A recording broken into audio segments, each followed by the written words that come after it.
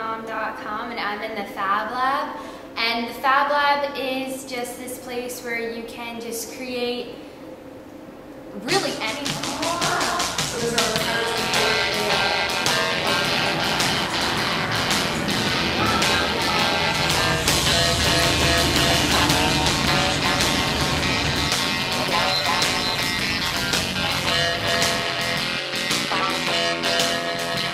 This is Ritz Kids, and we're for children ages 5 to 12 specifically.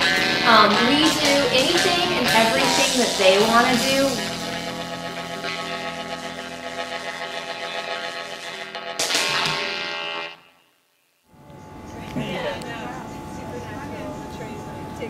Off.